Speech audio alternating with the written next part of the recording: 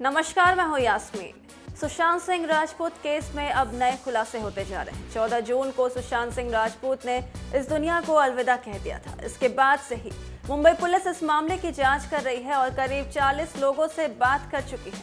लेकिन अब तक किसी ठोस नतीजे तक नहीं पहुँच पाई। वहीं हाल ही में सुशांत सिंह राजपूत के पिता के सिंह ने रिया चक्रवर्ती और उनके पूरे परिवार के खिलाफ एफआईआर दर्ज करवाते हुए रिया पर कई गंभीर आरोप लगाए हैं, जिसके बाद पटना पुलिस मामले की छानबीन में जुट गई है। लेकिन अब इस मामले में सुशांत सिंह राजपूत की एक्स गर्लफ्रेंड अंकिता लोखंडे की ओर से एक बड़ी जानकारी सामने आई है, जहाँ हाल ही में अंकिता लोखंडे ने एक पोस्ट शेयर करते हुए लिखा था, सच जीतता है जिस पर कई स्टार्स ने रिएक्ट भी किया। वहीं अब अंकिता ने रिया पर बड़ा खुलासा किया है। रिपोर्ट्स की माने तो सुशांत सिंह राजपूत की एक्स गर्लफ्रेंड अंकिता लोखंडे ने मुंबई पुलिस को इस बात की जानकारी दी है कि रिया चक्रवर्ती से सुशांत का रिलेशनशिप ठीक नहीं था। सामने आ रही रिपोर्ट्स की माने तो अंकिता लोखंडे ने बिहार पुलिस के सामने खुलासा किया है कि सुशांत सिंह राजपूत रिया चक्रवर्ती के साथ रिश्ते में खुश नहीं थे। वो इस रिश्ते से बाहर निकलना चाहते थे क्योंकि रिया उन्हें प्रताड़ित कर रही थी।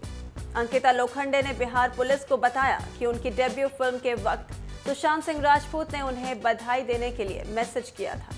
इसी दौरान दोनों की बातचीत हुई थी।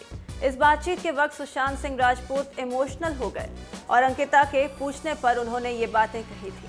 कहा तो ये भी जा रहा है कि अंकिता लोखंडे ने अपनी बात साबित करने के लिए मुंबई पुलिस को बतौर सबूत सुशांत सिंह राजपूत के व्हाट्सएप चैट स्क्रीनशॉट भी दिखाए हैं।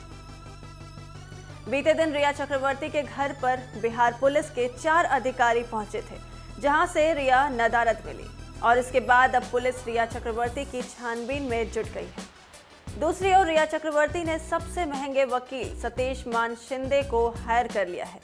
सतीश मान शिंदे, सलमान खान और संजय दत्त के वकील रह चुके हैं और वो एक दिन के लिए कथित तौर पर 10 लाख रुपए चार्ज करते हैं। ऐसे में रिया चक्रवर्ती के खिलाफ सुशांत सिंह राजपूत के फैंस का गुस्सा भी खोल रहा है।